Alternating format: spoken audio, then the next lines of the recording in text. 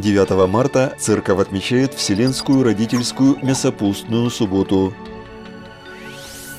В календаре православной церкви есть несколько дней особого поминовения усопших. Среди них выделяют две родительские субботы, в которые церковь молится за всех когда-либо почивших православных христиан.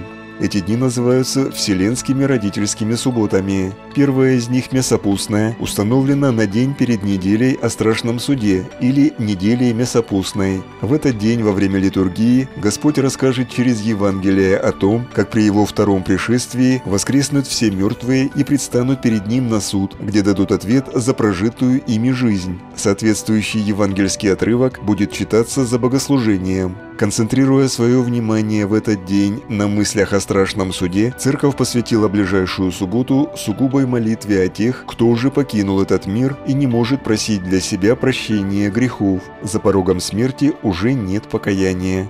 Вот что сказал в одной из родительских суббот про значение нашей молитвы для умерших митрополит Святогорский Арсений. Мы пришли сегодня молитвенно пообщаться с нашими сродниками по плоти, готовясь к встрече с ними. Как при жизни мы за них переживали, их любили, заботились о них, так и по смерти они не умерли, и для нас, верующих, они также существуют. Мы за них переживаем, их участь беспокоит нас, как им там в вечности и желая облегчить, сделать эту участь им радостной, светлой, вечной со Христом, мы молимся за их души Христу, Царю Бессмертному. И эта суббота и следующее за ней воскресенье называются мясопустными потому, что с понедельника православные верующие уже исключат из своего рациона мясо, а сегодня и завтра мясные продукты уставом к употреблению еще допускаются.